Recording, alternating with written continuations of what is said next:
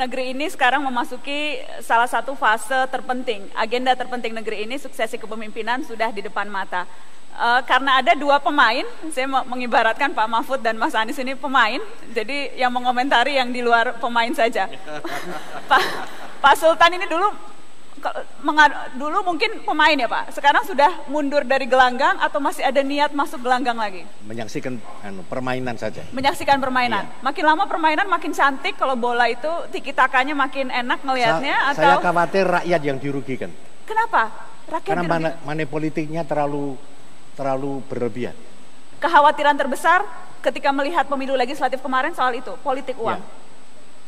Yang uh, sekarang fase yang kita lalui sekarang Pak Sultan adalah fase menimbang koalisi. Dari Jogja melihat apa yang terjadi di Jakarta, elit-elit saling bicara partai, saling bicara timang menimang capres cawapres, itu memang proses yang wajar atau sudah mulai tercium dagang sapinya? Ya, itu itu proses yang wajar saja karena mereka tidak ada yang bisa memenuhi persyaratan dalam undang-undang. Ya. Bergabung sebagai kekuatan baru bagi saya tidak ada masalah. Ya kan? Tapi pertanyaan saya sebetulnya adalah yang saya khawatirkan ya, kenapa untuk pemilihan legislatif ada waktu untuk campaign tertutup itu 15 bulan. Dari Januari 2013 hmm. sampai bulan awal bulan Maret 2014. Tapi kenapa justru memilih pemimpin untuk republik ini hanya ada waktu dua bulan. Begitu 9 April memilih calon Partai? legislatif, 9 Juli sudah memilih pemimpin republik. Sebetulnya partai politik ini serius tidak untuk memilih pemimpin di Indonesia.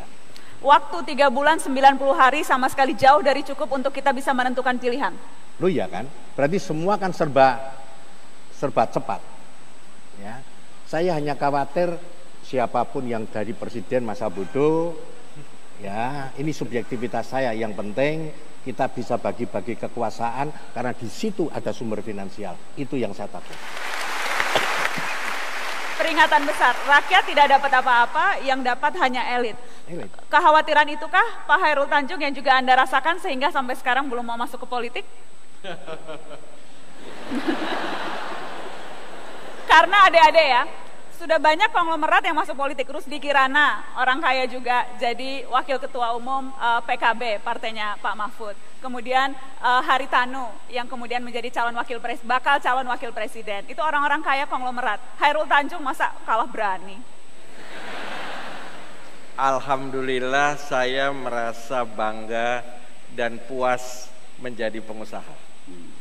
Ya. Karena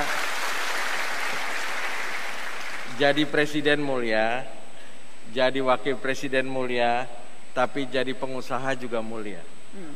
Sekarang ini banyak yang menginginkan kekuasaan itu sebagai tujuan untuk semata-mata berkuasa. Ya, padahal kekuasaan itu harusnya dijadikan tujuan untuk mengabdi kepada rakyat. Hmm. Saya tidak masalah siapa pun yang akan jadi presiden atau pemimpin republik ini. Yang masalah buat saya adalah orang tersebut harus punya kemampuan membawa bangsa ini ke arah yang lebih maju, membawa rakyatnya menjadi lebih sejahtera. Hmm. Ya, itu yang paling penting.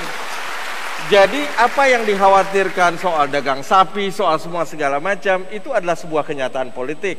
Okay. Ya, dan itu adalah pilihan kita setelah reformasi kita memilih demokrasi yang kadang-kadang quote unquote sudah mungkin agak kebablasan, tapi itu adalah pilihan kita.